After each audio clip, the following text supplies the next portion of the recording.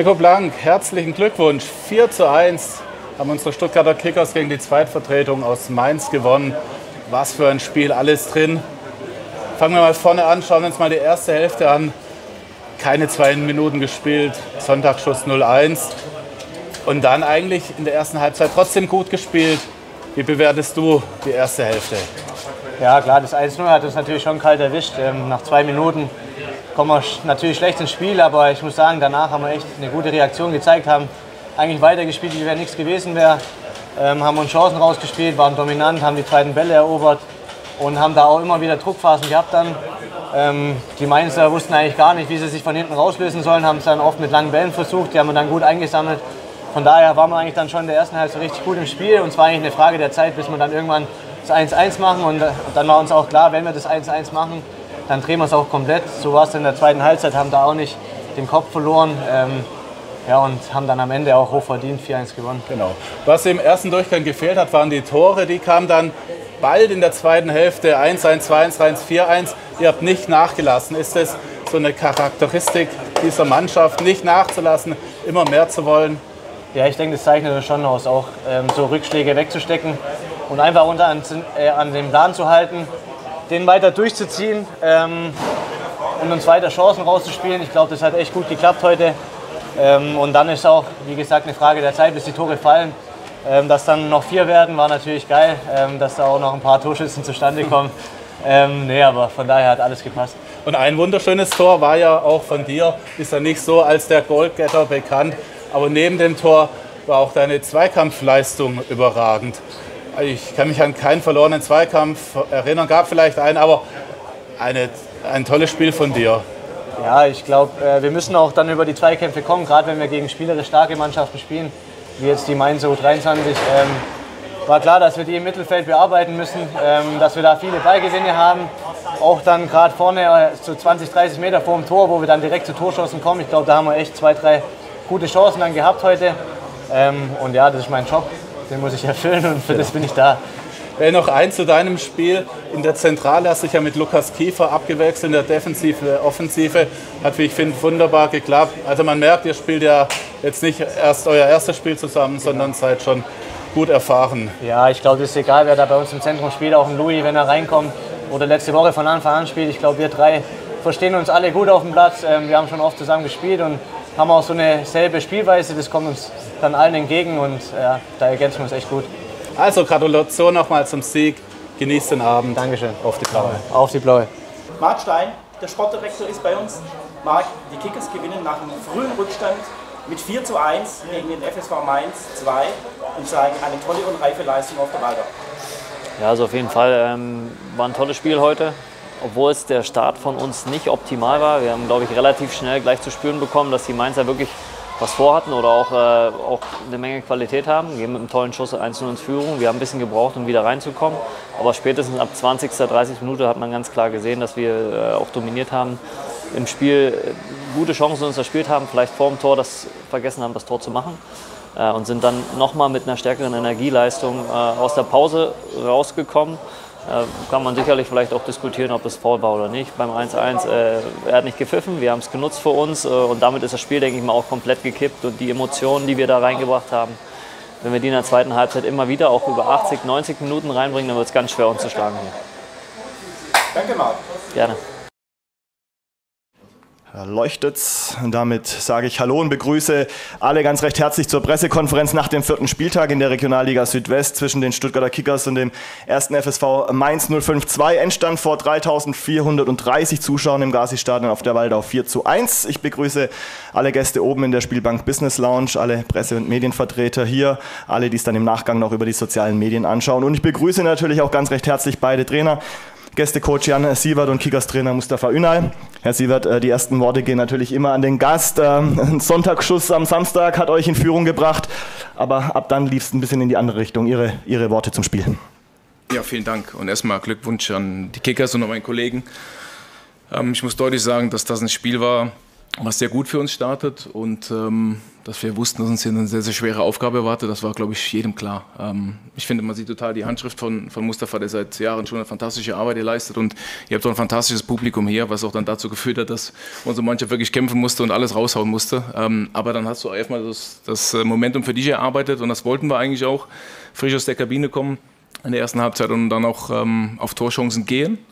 Ähm, ich finde, dass wir danach, glaube ich, so noch eine andere Chance haben von, von Kemata, wo der Ball, glaube ich, auf die Latte landet. Ähm, ja, genau, war ein Fallrückzieher. Aber nichtsdestotrotz ähm, verlieren wir das Spiel heute völlig verdient, weil wir es einfach in der Phase des Verteidigens nicht immer gut gemacht haben. Es waren am Ende ähm, ähm, ja, zwei Distanzschüsse und dann mit dem Tor quasi im Freischuss auch ein direkter Schuss quasi, ähm, der dann ins Tor geht. Ich glaube, das habt ihr euch auch dann euphorisch erarbeitet, das muss man deutlich sagen. Und es äh, ist auch dann schwierig, glaube ich, für so eine junge Mannschaft. Nichtsdestotrotz, glaube ich, gibt es ein Momentum in dem Spiel wo es deutlich kippt und das ist das 1-1. Wir mussten einiges wegverteidigen, es waren viele lange Bälle, die wir verteidigen mussten, haben auch in der Halbzeit umgestellt, haben dann so eine Halbchance, die wir nicht richtig zu Ende spielen mit Keanu Kraft, direkt nach der Halbzeit, aber das Tor ähm, und ich glaube, wenn ich mich da mit meinem Schiedsrichter-Kollegen in aller Ruhe, in aller Sachlichkeit unterhalte und er sich das Foul nochmal anschaut, dann, äh, und ich glaube, da würde Mustafa mir auch beipflichten, dass das ein klares Foul an Tim ist. Also der Spieler wird gedrückt, fällt über den Ball und da gibt es dann halt eine Karte und ähm, deswegen habe ich so ein paar Situationen beanstandet, wo es vielleicht auf der anderen Seite keine Karte gab, aber nichtsdestotrotz muss ich ganz deutlich sagen, nochmal, verdienter Sieg für die Kickers, ähm, tolle Mannschaft, tolle Handschrift und ähm, ja, ich habe äh, nach dem Spiel so eine Situation gehabt, die mir nicht gefallen hat. Die hat im Spiel schon begonnen, deswegen ähm, kann ich das deutlich ansprechen. Der Linienrichter hatte mich dann auch schon beruhigt, muss ich sagen, mit Sätzen, die ich jetzt hier nicht wiederhole. Ähm, das ging nicht an Mustafa, sondern an Kollegen von ihm und ähm, das kann man klären aus der Welträume, aber das sind ein paar Dinge nach dem Spiel gefallen, die ich äh, nicht so teile und nicht so stehen lassen möchte. Herzlichen Dank, ich wünsche euch alles Gute. Machen weiter mit dem Weg und äh, wir gehen unseren Weg weiter und versuchen, Jungs in die Bundesliga zu bringen. Und dafür gehört so ein Spiel zum Lernen dabei. Recht herzlichen Dank und alles Gute. Vielen Dank, Jan äh, Siebert. Äh, ihr musste die erste Saisonniederlage musste da letzte Woche einstecken, habt viel drüber gesprochen, die Antwort habt ihr heute gegeben und das nach dem 0-1-Rückstand äh, war ja, im wahrsten Sinne des Wortes eine, eine reife Leistung ähm, ja, gegen spielerisch starken Gegner, oder? Hallo zusammen und, und vielen Dank für die Worte, äh, Jan. Ich denke, das war ein sehr packendes Spiel, das ja, was, was denkbar schlecht für uns beginnt, mit dem, mit dem Traumschuss äh, da war da mal gleich der Plan dahin, weil wir, wir haben gewusst, da kommt eine junge Mannschaft. Äh, da wollten wir direkt viel Druck aufbauen. Wir wissen, wenn so eine Mannschaft dann führt, äh, das, das macht sie dann auch größer, ja, breite Brust.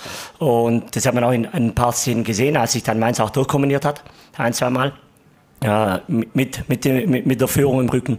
Aber ja, danach war es wirklich äh, ein richtig, gut, äh, ja, ein richtig gutes Spiel von uns, muss ich sagen. Wir haben die Tore zwar nicht gemacht in der ersten Halbzeit, aber haben den Kopf nicht verloren, haben, haben den Plan weiter verfolgt, haben uns an uns geglaubt. Vor allem nach der Halbzeit sind wir dann mit, mit viel Wucht rein, machen natürlich recht früh das Tor.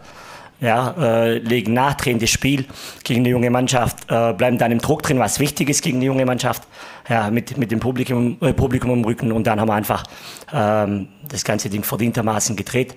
Ich kann nur ein Riesenkompliment an meine Mannschaft machen. Wir wir haben das Ding über 90 Minuten sehr reif runtergespielt. Ähm, Phasen gab mit viel Druck, Phasen gab mit Kontrolle. Wenig zugelassen, ja, gegen eine technisch sehr starke Mannschaft.